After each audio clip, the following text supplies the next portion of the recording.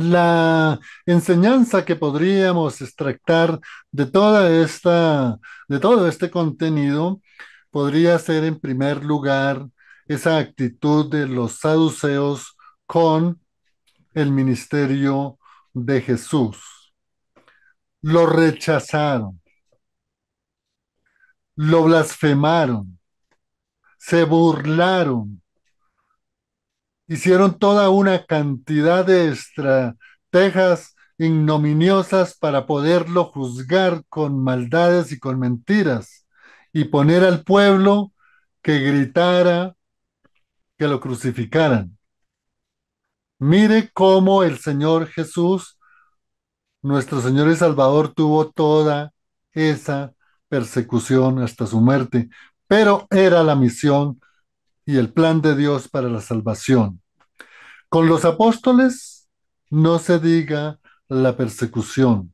Aún después de que los saduceos sabían, se enteraron por sus mismos compinches que Jesús se había había resucitado, que el poder de Dios lo había levantado de la tumba, mire cómo hicieron toda una serie de maquinaciones para cambiar, que era que se habían robado el cuerpo de Jesús, que era algo que no se podía tener, que sobornaron a los mismos guardias para que dijeran que era que se habían llevado el cuerpo de Jesús.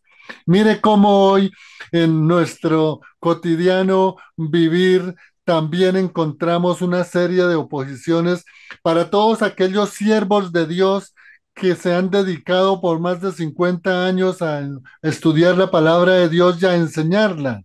Esos siervos de Dios y esos maestros somos los que nosotros tenemos en la parrilla de Nuevo Continente. Por eso los invitamos para que los escuchen, amigo oyente.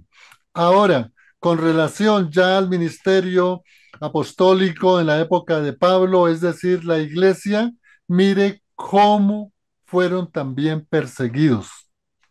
Porque Pablo fue perseguido por los fariseos. Todos los discípulos de Pablo perseguidos por los saduceos. Y luego llega algo muy importante, que se cumple la palabra de Dios sí o sí. Si no estoy mal por allá en el Evangelio de Mateo, en el capítulo 3, versículo creo que el 10, 11 y 12, el Señor precisamente cuando confronta a los saduceos, les dice que el hacha está puesta a la raíz y hace toda una serie de confrontaciones a los fariseos donde ellos desaparecerán.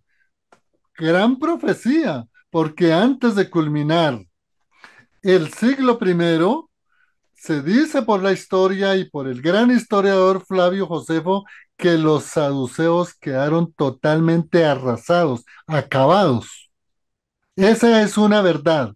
Entonces, ¿cómo terminan los que hacen negocio con el Evangelio? los que predican humanismo antes que la palabra de Dios, los que predican eh, motivacionalismo, los que están interesados solamente en lo material, los que usan la política como trampolín para poder también tener muchos beneficios, pues terminan precisamente arrasados, exterminados y lo peor, resultan condenados y en el infierno. Hay que decirlo así con claridad. Oremos siempre, amigo oyente, porque nosotros podamos proclamar la verdad del Evangelio, defender el Evangelio y aprender de los saduceos que si no andamos por los caminos de Dios y en la verdad, también seremos arrasados. Dios los bendiga.